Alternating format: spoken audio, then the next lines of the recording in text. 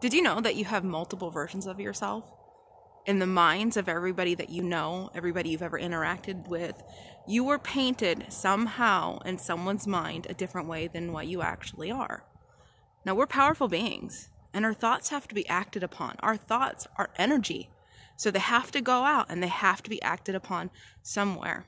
So, a lot of the times when you don't feel like yourself, it's because you're up against the thoughts of everybody around you who paints a particular picture about who they think you are based on the snapshot of the time that they spend with you. Frankly, people don't know you. They can't know you.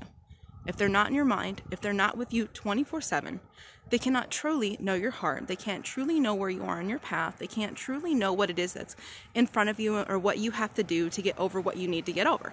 They simply do not know. But the same premise applies to you.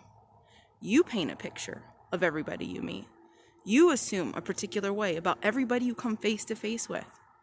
And in doing so, you are not fully yourself. And you're allowing your world to slow you down when you don't need that. When you can simply let go and become the better version of yourself. Choose to do the things that are right. And it doesn't matter what people have to say about you. You can overcome anything. You can even overcome their idea of who they think you are. The next time you think about painting a picture about somebody else, and then speaking that picture to other people when they are not around in a negative manner, that comes back to you. That comes back onto you in a form of judgment of other people. See, because the same premise happens. They're thinking things about you too. The more you think about others, the more others think about you.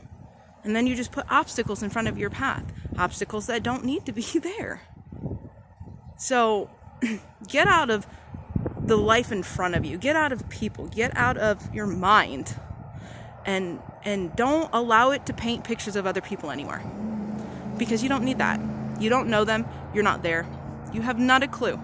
And everybody is changing very rapidly. So who people are today is not who they were. So to think of them as who they were is to throw more obstacles into their path as well.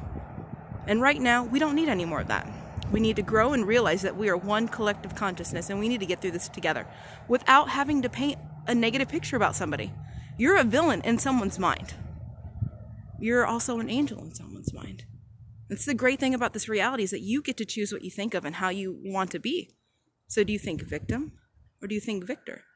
Do you think judger?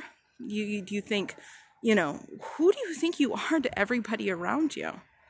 And get out of that thought and just feel and and take your life back. Grow up. Put away childish things. And find compassion in your heart for everybody around you because everybody around you is in their own personal hell and right now they need you thinking light and love to them not painting a horrible picture of who they used to be. We all have to overcome our own inner demons and now is the time where we're all having to face it at once. So overcome the negative thought and choose to be better because that is a choice you have to choose yourself. You deserve good things. Good things come when you see it in others. You bless, loved one. You truly are.